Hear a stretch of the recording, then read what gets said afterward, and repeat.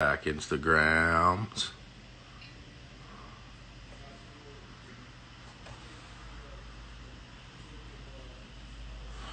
What up, what up, what up, what up, what up? I hope all you beautiful humans that were just in the last live stream come back to see my pretty face once again. We got 122 people in the motherfucking house. What up, Jay McNeil? What up, Mechanic Rob? Big Rory in the house. Disaster Grace in the building. I don't know if you guys saw this the other day, but uh, I was congratulating my bro Rory on his one year sobriety. He's a street ball legend out here from Vancouver, where I'm from. Anybody that's into basketball needs to look up his story. He goes by Disaster. Um, and if you look at my page, you can see his Instagram and you can follow him because he's the man and he's in here with me in treatment and he's like a mentor of mine. So shout out to my dog, Big Kripel in here dropping the eggplant emojis. You already know what time it is. That was very Pony Club of you. What's going on, Lopez? Hawks fan 17. Slim Tim, SDK in the cut. Silk, I see you, bro. I miss you, man. I hope you're doing well. We got 600 people in the house. You not, you guys know when I'm out here and I'm live that it's always for a reason. It always means it's music day if I'm live. Drastic, I see you, brother. Um, what's going on, Ghost? Early adopted in the motherfucking house. Yeah, I know you know who he is because I seen you try to stun on him in that old video. Who turned Sanger? That was very rude, man. I'm just playing.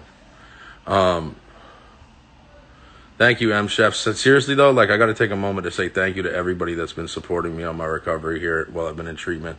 Um, it's gonna be good for the fans too, man, because I've been just going hard in the studio. I got the studio set up here, as I said, and I've been going absolutely buck. What up, Robin? Love ya. Um, Quake, I see you, brother.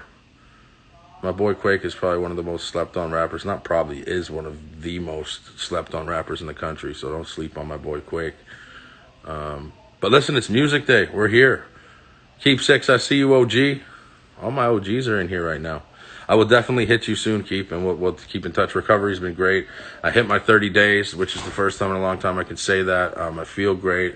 Feel really good. I'm getting exercise. Um, half the time I was too hungover to ever commit to actually exercising, and I can't wait to get physically back in in, in uh, shape. It's something that I've been trying to do for a while, but COVID kind of fucked it all up. I know that sounds like an excuse, it really is, but um, just not being on tour for so long and just sitting there idle, right? Like when you're just sitting there and you're in your own fucking head all the time, like all it really does is for an addict like myself with an alcoholic mind, it just makes me want to party. And then I'll start partying. And then when I start partying, the party's over and I'm the last loser there. And then I just keep going and keep going and keep going and can't stop. You know what I mean? So the struggle is real. Lesson, I see you, brother. All the SDK brothers are in here, man. Yes, sedative native, native, my boy. Um, yes, I just did a joint with Benny the Butcher from Griselda. I'm super hype about. That's not what's dropping today. I just dropped a different song. This one's really different, man. This one's uh I've been making music about anxiety, depression, and alcoholism, and just being an addict for so long. Which don't get me wrong, I like to do because it's therapeutic to me. It's therapeutic for you guys when you hear it. You guys tell me all the time how much it helps you. But I figured I wanted to try some new vibes, so I did some like more happy, uplifting shit. This song that just dropped right now is called um, Woodstock '99. The reason why is when the producer, my boy C Lance, I see you, brother. Um, sent me the beat. It was called Woodstock 99. And I'm like, oh, fuck, that's dope. I forgot all about Woodstock 99. So I went and looked at old videos. I'm like, I'm gonna base the title on that. It's uh, some uplifting, happier type shit. I sing on it quite a bit. So for you motherfuckers that hate on the Merc singing,